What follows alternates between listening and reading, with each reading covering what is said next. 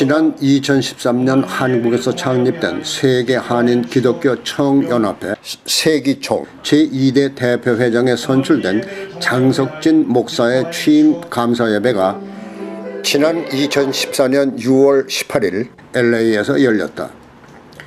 지난 5월 25일 뉴욕에서 제2대 대표회장에 선출된 장석진 목사는 이날 LA 교계에 관심을 표명하며 이것에서 취임 감사 예배를 가지게 된 것을 기쁘게 생각한다고 말했다.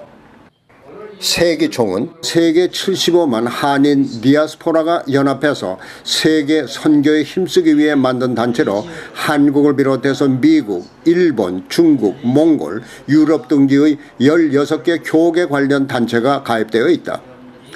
한편 이날 취임 감사 예배에 참석한 장석진 2대 대표회장은 한국 교회 갈등의 골이 갈수록 깊어지고 있는 시점에서 세계 한인들이 교회 연합 정신으로 일깨우도록 노력하겠다고 말했다. 지난 1976년 뉴욕 성결교회를 개척한 장석진 목사는 기독교 미주 성결교 총회장 대 뉴욕지구 한인교회 협의회 회장 등을 역임한 중진 목사다. 한편 이날 장석진 대표회장은 LA에서 취임 감사 예배를 마련한 크리스천 위클리 대표 조명환 목사에게 감사패를 전달했다.